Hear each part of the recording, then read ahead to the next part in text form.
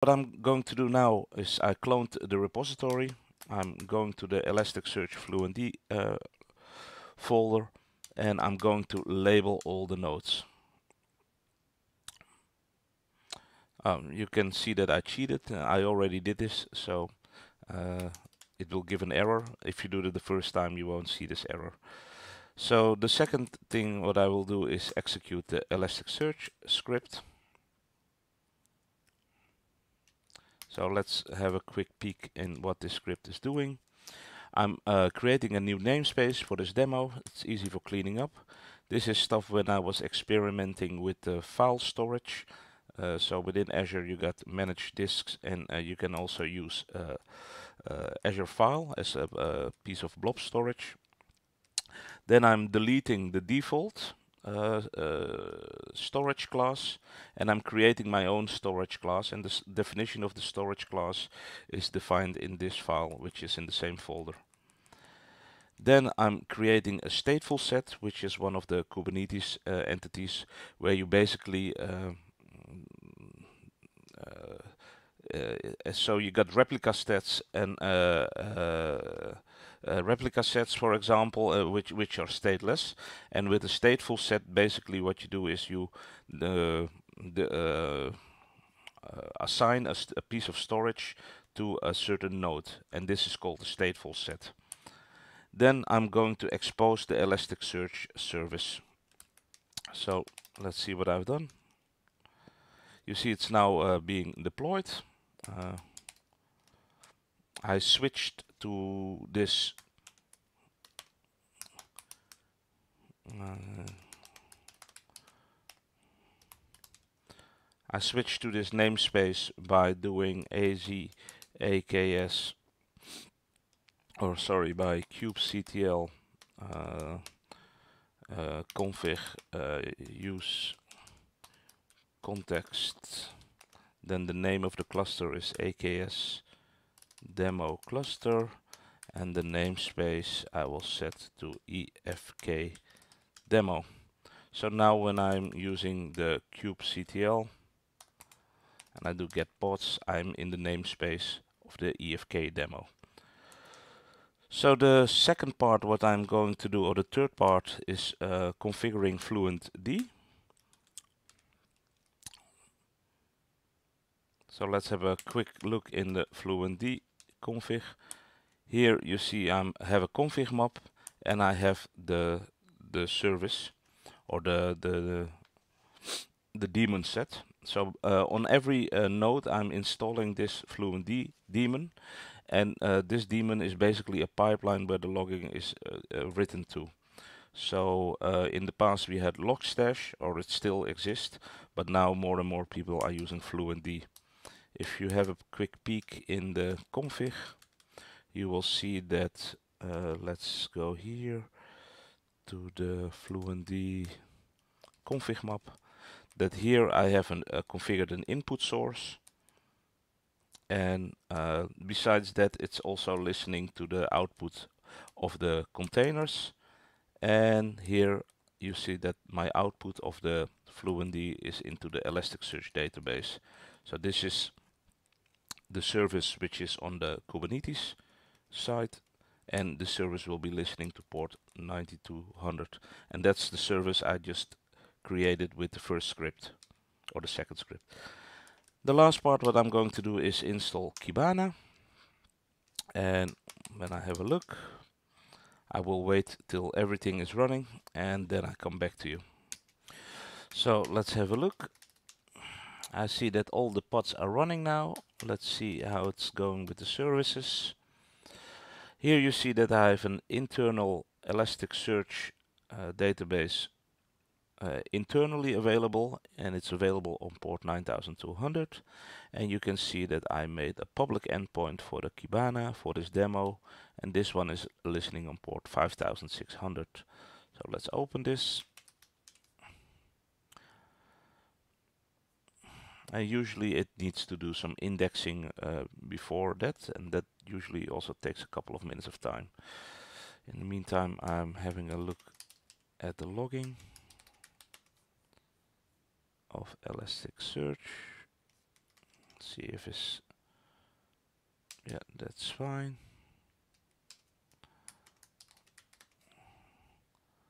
Let's see if we have stuff if Kibana is doing stuff yes it is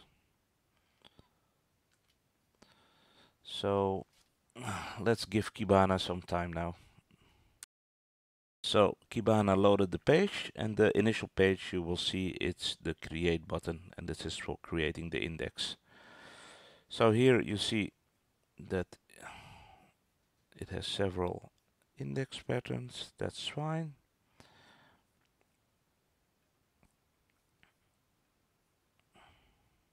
No, that's fine by me. Okay, so I'm going to the discover see if I already have some entries in my Elasticsearch database.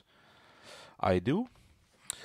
So let's see what we have here. Um, one of the cool things in Kibana is uh, basically that you have uh, the discover button and the discovery it's uh, uh a filter over all your loggings.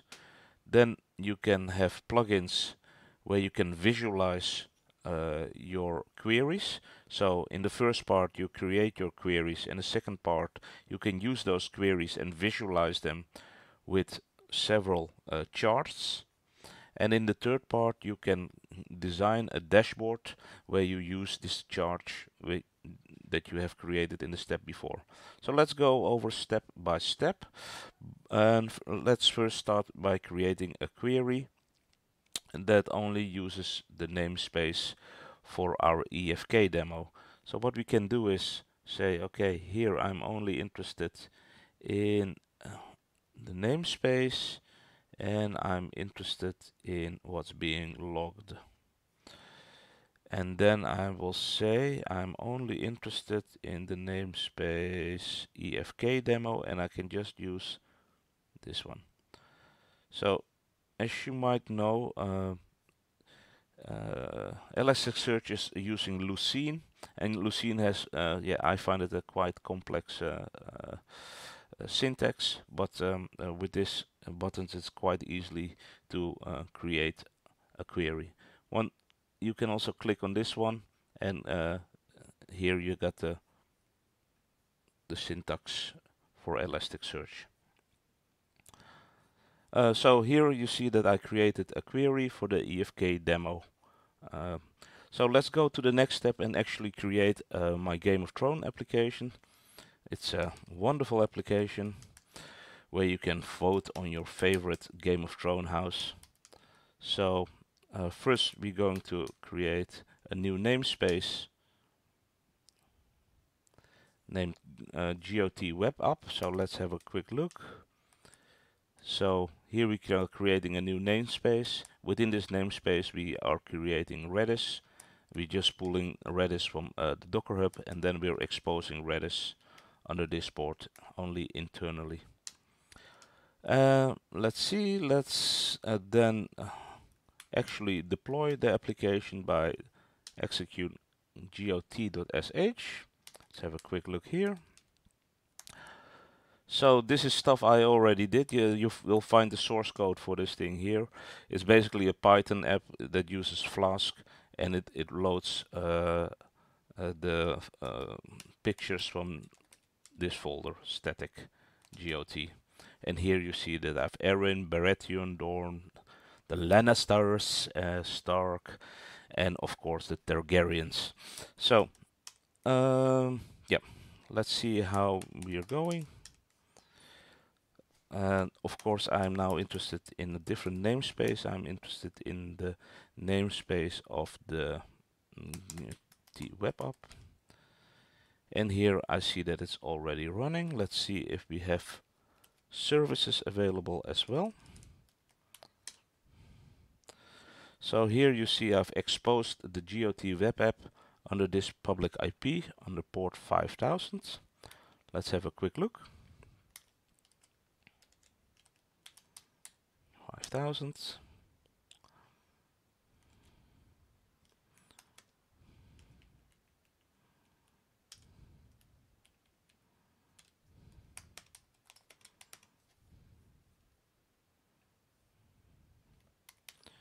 Namespace is GOT web app. Okay. So basically what I'm doing here is uh, you can vote on your favorite house. Uh, and uh, now let's just uh, click on a couple of them. Oh, I should click on the proper one. Uh, Stark, I see that my uh, layout is a little bit off. but basically this will all generate logging if you have a look in the source code. up the py the only thing what I'm doing is I'm configuring basic config. I'm using the standard out. And here, every time I click on Arryn or Stark, I'm logging a message somebody liked the Arryns or the Starks or Baratheon family. So it's not the most nice. Uh, I, I, will see if I can uh, improve the uh, layout a little bit, but um, uh, the idea is clear, right? So of course we like to see this logging back in Kibana. So let's change this query and change the namespace instead of EFK demo we do GOT web app. And here you see all the log me messages which occurred in my namespace.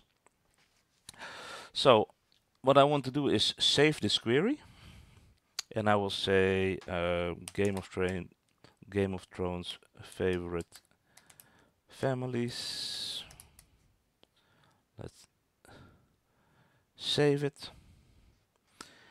Then I'm going to create a visualization and I'm going to create first of all a gauge. This gauge is using this query. You see that there are there are currently 54 messages already. I'm going to save this. Game of Thrones Gorge. Gorge logging. I don't know how to pronounce it. Sorry for that. The second thing I'm going to create. So let's go back here. Visualize. I'm going to create another one. And here I want to see an overview of all the families. And I'm using again this query. But what I'm doing now is I'm going to split the chart and I'm going to use filters. And the first filter will be log and in the log I expect Stark. Let's add the filter. Then I'm going to do log and I'm going to do the same for Targaryen then I'm going to do the same for uh, Targaryens and then I'm going to do the same for the Tullys.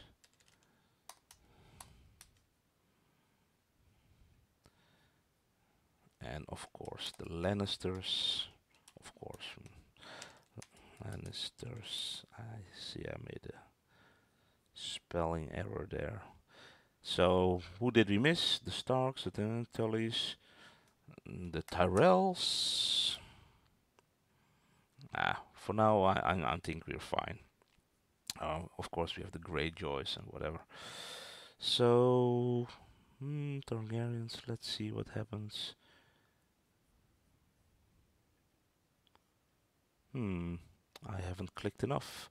So let me click here on a couple of Starks, a couple of Baratheons, a couple of Dorns. Oh, the Dorns, I should, the Dorns is there. The Baratheons, the Lannisters. So, let's see what happens now. Let's save it. Hmm, Favo. Save.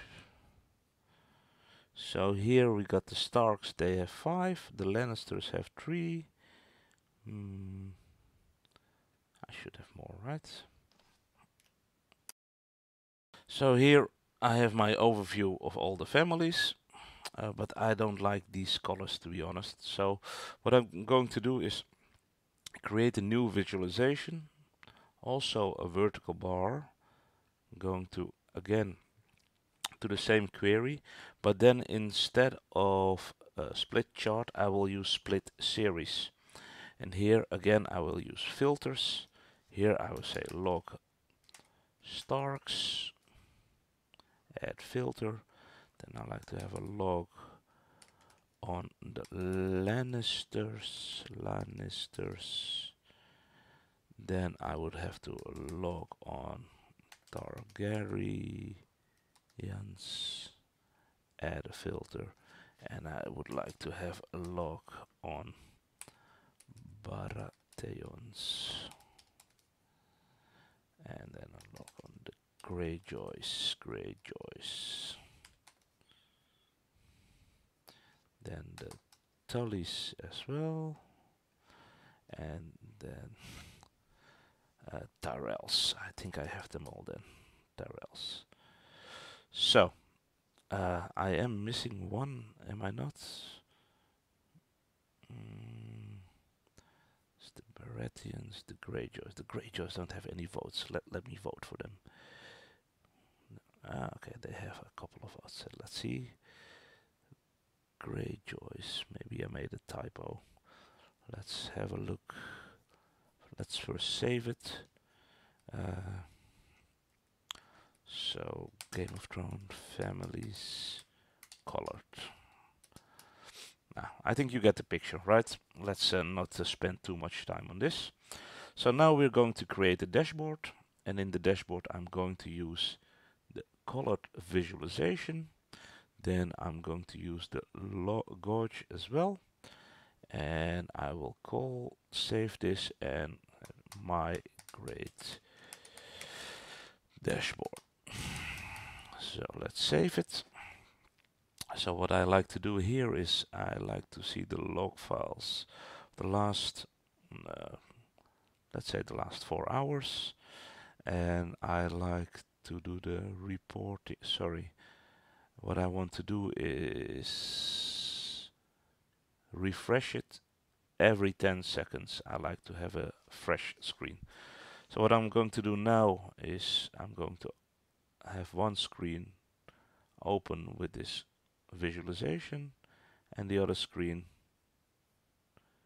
has my wonderful Game of Thrones app so I'm going to close this so uh, I will put some votes out. I will vote for the Starks. So here you see that I'm voting for the Starks.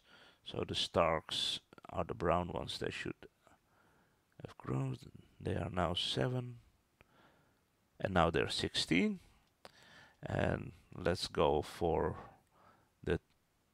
Nah, I cannot vote for the Lannisters. Sorry. For the Greyjoys then.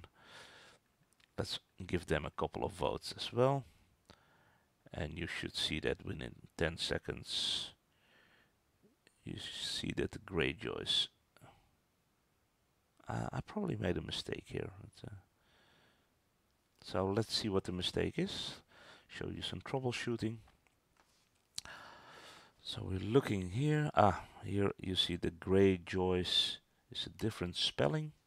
So I'm going to the visualization here I'm going to here log. Choice, great choice. So let's have it like this.